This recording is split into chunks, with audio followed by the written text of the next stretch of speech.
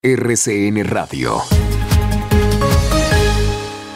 Muy buenos días, es un gusto acompañarlos a esta hora con la información. Hoy es 30 de noviembre del año 2021 y estas son las noticias para empezar el día. Amanecemos nuevamente con el mundo sacudido por cuenta de la variante Omicron de coronavirus. Las bolsas y el petróleo vuelven a caer con fuerza en Europa. Hay países que están tomando decisiones para cerrar las fronteras pero el llamado de la Organización Mundial de la Salud es a la calma mientras acaban de analizar la variante. Kelly, muy buenos días. ¿Qué tal, Yolanda? Muy buenos días. Las vacunas anti-COVID creadas hasta ahora podrían tener dificultades para combatir la variante Omicron y llevar a meses ultimar un nuevo inmunizante eficaz contra esta cepa. Eso lo declaró esta mañana el presidente del laboratorio estadounidense Moderna al Financial Times. Dice que los datos sobre la eficacia de las vacunas actuales contra esta nueva cepa pues llegarán en las próximas dos semanas, pero que aún así los científicos no son optimistas. Mientras tanto, varios países siguen cerrando los vuelos al sur de África. Ecuador prohibió el ingreso de viajeros procedentes de ocho países africanos debido a esta variante, Yolanda. Importante porque Ecuador además va a reabrir su frontera con Colombia por fases tras la detección de Omicron. La primera etapa, decía el presidente Guillermo Lazo, pues contempla el transporte internacional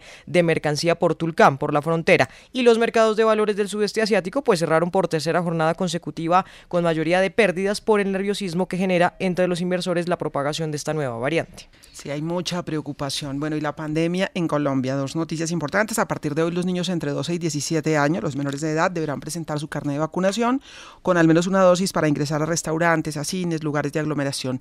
Y en las últimas 24 horas ha cedido un poco el número de personas muertas y contagiadas, porque son 36 personas muertas en Colombia.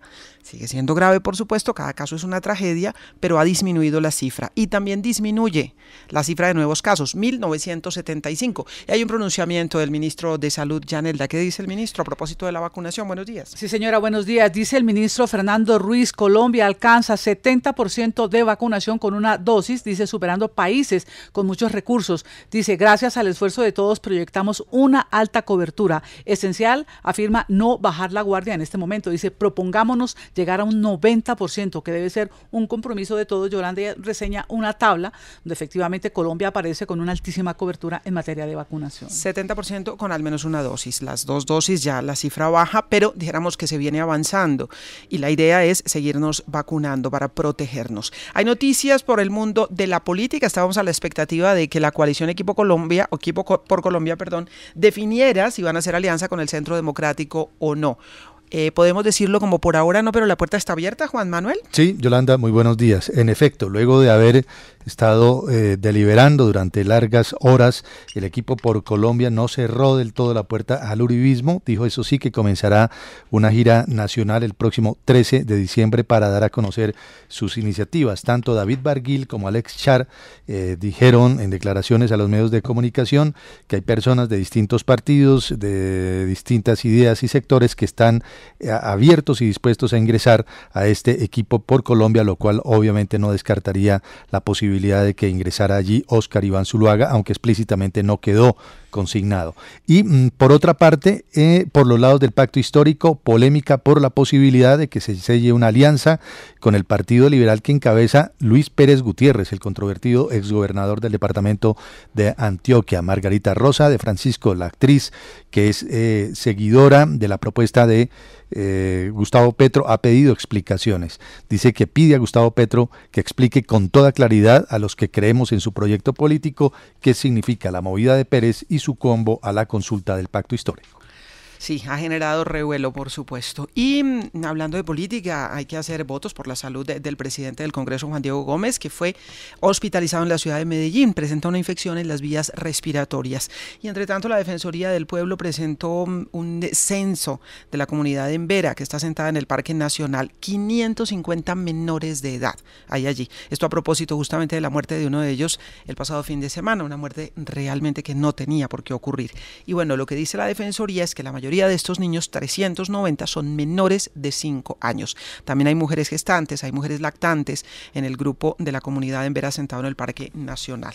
Hay noticia también a propósito de la modificación de la ley de garantías, que recordemos todo esto está en medio de una batalla jurídica, Juan Manuel. Sí, Yolanda, el Consejo de Estado tendrá que definir esta controversia generada por una tutela que buscaba que unas modificaciones que realizó el Congreso de la República a la ley de garantías eh, fueran tumbadas esas modificaciones permitirían a los gobernadores y alcaldes celebrar convenios interadministrativos. Pues bien, el Tribunal Superior de Cundinamarca falló en las últimas horas en relación con una tutela y dijo que a ella no se vinculó al presidente Iván Duque para que pudiera responder los requerimientos de los accionantes. Con esta determinación, entonces, los ajustes de la, ajustes de la ley de garantías que permiten estos cambios continúan en firme. Bueno, todo un lío, todo un rollo es jurídico. Y hablando de temas judiciales, la Sala Civil de la Corte Suprema de Justicia ratificó la condición de víctima a Deyanira Gómez Sarmiento en el proceso contra el expresidente Álvaro Uribe Vélez por presunta manipulación de testigos. También se ha pronunciado el exalcalde de Medellín y precandidato presidencial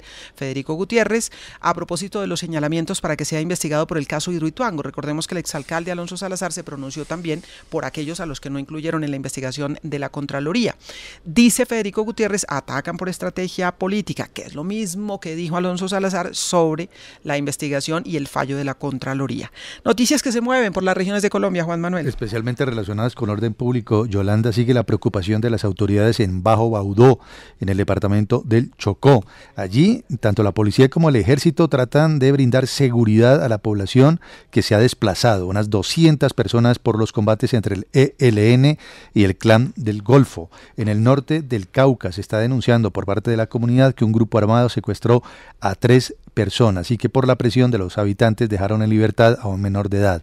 Y un pronunciamiento fuerte del padre Francisco de Rú, quien ha dicho que el canal del dique es un cementerio del dolor. Hizo esta afirmación durante los actos que eh, simbólicamente buscan la verdad sobre las desapariciones durante el conflicto. Y hay un dato del DANE que revela que 17.9% de los jefes de hogar prevé que su situación económica va a empeorar en los próximos meses. Una dosis de pesimismo entre el 17.9% de los jefes de hogar. Yanelda Jaimes, ¿qué ha pasado en la ciudad de Bogotá? Yolanda, muy fuerte el pronunciamiento en las últimas horas del ministro de Defensa, Diego Molano, al referirse al estado de salud de los dos agentes de la policía que fueron atacados con machete en el portal de las Américas acá en Bogotá. Dijo que estas personas no son activistas políticas, refiriéndose a quienes dicen llamarse y conformarse a esta primera línea, los tildó de delincuentes. Y muy preocupante porque uno de los eh, patrulleros heridos con machete está en cuidados intensivos. Realmente preocupante esto que ha ocurrido, nuestra solidaridad total con ellos, con su familia, dos patrulleros heridos, uno de ellos se encuentra delicado. Y el próximo 3 de diciembre se va a instalar la mesa de concertación del salario mínimo. Vamos con los deportes, José Fernando, porque Messi se llevó otro balón de oro, otro balón de oro, uno más, pero esta vez hay polémica, ¿no? Por ahí he escuchado que no todos quedaron contentos. Buenos días. Hola Yolanda, buenos días. Así es, Lionel Messi, en medio de polémicas porque muchos pensaban que Robert Lewandowski se iba a llevar el balón de oro, bueno, consiguió el argentino su séptimo balón, precisamente un gran día para el eh, jugador de la selección antes de ser destacado en Francia como el mejor eh, futbolista de la temporada por la revista France Football, había recibido el premio al goleador de la Liga Española. De otro lado, México asumió el liderato de los Juegos Panamericanos Junior que se disputan en Cali. Colombia se mantiene en el cuarto lugar con 25 medallas doradas menos que los aztecas. Hoy se disputa el sexto día de competencias en Cali y Llaneros derrotó al Bogotá Fútbol Club en el cierre de la quinta fecha del torneo de ascenso y quedó con posibilidades de seguir luchando por un cupo en la primera. Este fin de semana se conocerán los dos equipos que estarán en la A en el 2022.